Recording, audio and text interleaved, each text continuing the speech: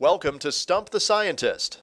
Hello, everyone, and welcome back to Stump the Scientist. We're here with Jim Bray, and today we're going to answer a question from Michael Zhang.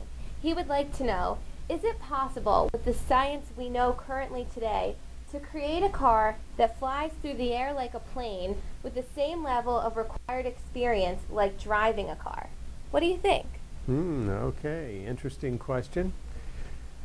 The answer to that, Michael, with current science is no. And there are several reasons for that. First of all, cars move in what we would say two dimensions, namely, they move around on the surface of the earth, on roads. Planes fly in three dimensions.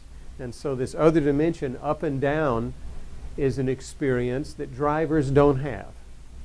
That's one reason that you can't have the same level of experience as with a car and expect that to work in a plane. Another reason is, of course, planes have very big wings, cars don't. Handling those wings, and their size and their weight, certainly is a different experience than one has in driving a car.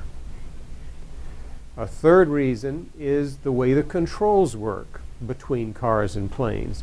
In a plane, the control surfaces are pushing on the air. In a car, your control comes from the tires pushing on the road.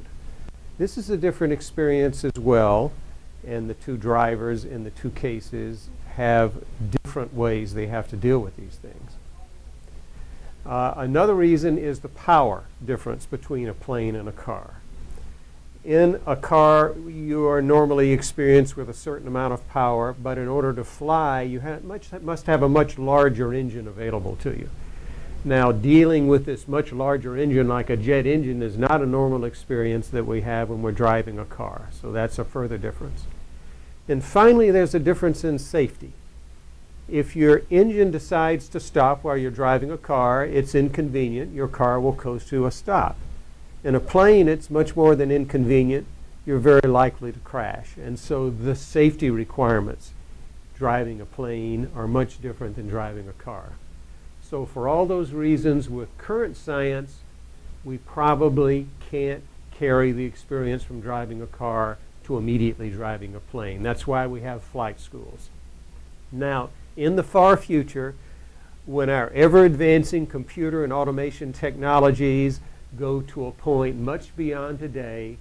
Indeed, we might be able to get into either a plane or a car and just tell the plane or a car, take me to Paris.